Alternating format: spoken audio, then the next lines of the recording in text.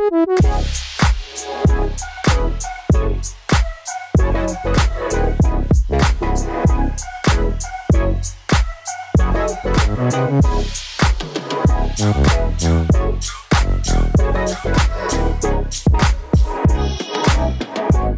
guys, welcome back to my channel. So I'm back and today I'm going to show you how I create really cool editorial fashion images using just one light.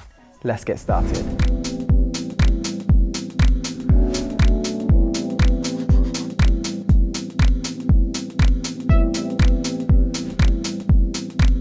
Now if you've seen my videos before, you know that I usually use three to four lights on a shoot.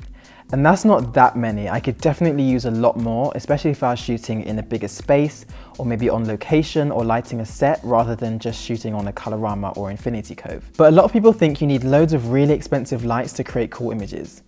You don't, sometimes you just need one. And today I'm gonna show you how I created these images using just one strobe and a few different modifiers. Before we get into the video, please make sure you subscribe to the channel, turn on notifications, and also give this video a like to help me create more, hopefully, entertaining and educational content.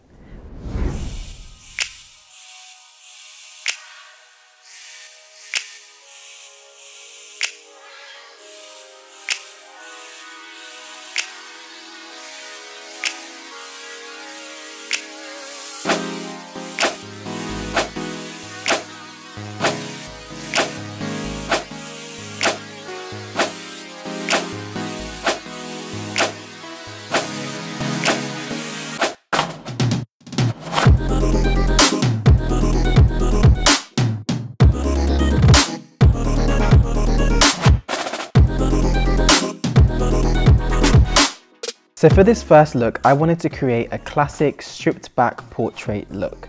So I used a parabolic softbox. I also used this in my video where I shot on film for the first time. So if you want to see that, make sure you check out the link in the description or click the card up there in the top right corner. This softbox has a really deep shape and also has two layers of diffusion. So it creates contrast, but can also still be quite soft. I'm placing this to the right of the camera at around a 45 degree angle from the model and slightly above. And what I'm really looking for here is nice catch lights in the eyes and making sure that the other side of her face isn't too shadowy. I'm using black polyboards on both sides to stop the light from bouncing and create a bit more contrast, but I could flip to the white side or maybe use a reflector to fill in those shadows a little bit. After I got a few shots in this position, I moved it further to the right, almost perpendicular to the model to create a light that comes from the side, which I think adds a bit more drama to these portraits.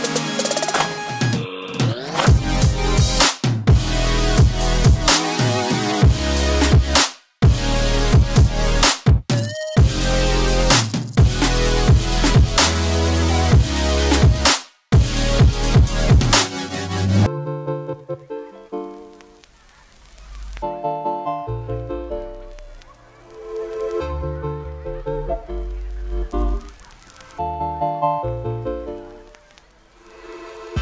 for this next look, I wanted to create a strip of hard light. So I used a small light modifier called a zoom reflector and placed it on a Profoto B1 quite far away from the model. I placed two polyboards side by side and left a gap in the middle for the light to pass through and create shadows on each side. This created a really dramatic light, similar to something you'd get from like a gobo, but with less defined edges, which I think makes it look a little bit more natural as if the light is coming through maybe an open door or a window or something like that.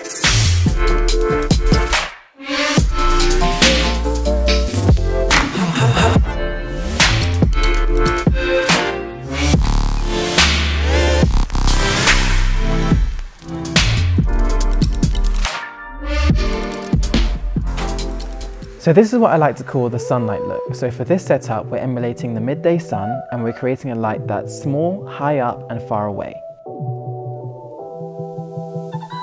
Now you might be thinking, the sun isn't small. You're right, it's not, it's huge. But this is where it gets all sciencey and nerdy and whatever. One of the sort of golden rules of lighting is the larger the light source is relative to the subject, the softer the light will be.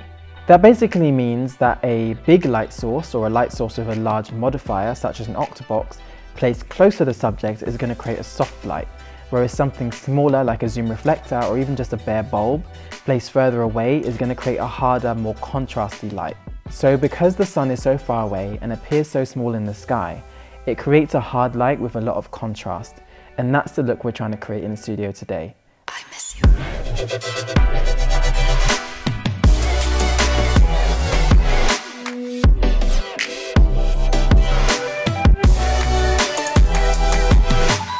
I just love how these turned out.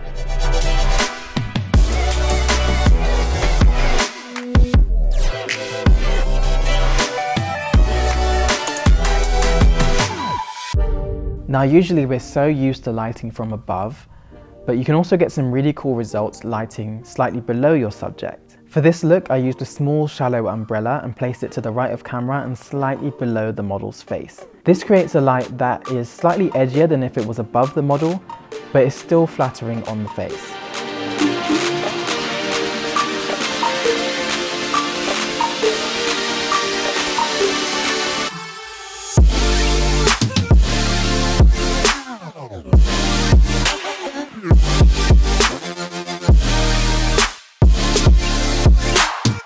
Now you have to be careful with this one because if you put the light too low and too underneath your model, you're going to create that kind of torch under chin, Halloween, mwahaha kind of look that we're just not going for. So that's it, a few different ways to create cool fashion images using just one light. You guys asked for more lighting videos and I delivered. Let me know which one was your favorite and if you try any of these out, make sure you send them to me. I would love to see them. I've also created some lighting diagrams for these setups and I've linked them below in the description.